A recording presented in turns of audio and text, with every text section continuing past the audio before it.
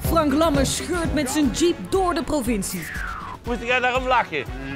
Alles wil hij weten over de roemruchte geschiedenis van Brabant. Deze kerk die is dus gebouwd door Hendrik ten Eerste.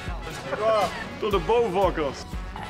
Zo, oké, meer kunnen we niet. Lachen, I'm invincible. dat is de kanon van Lammers. Elke zondag op Omroep Brabant. Jongens, tot ziens hè.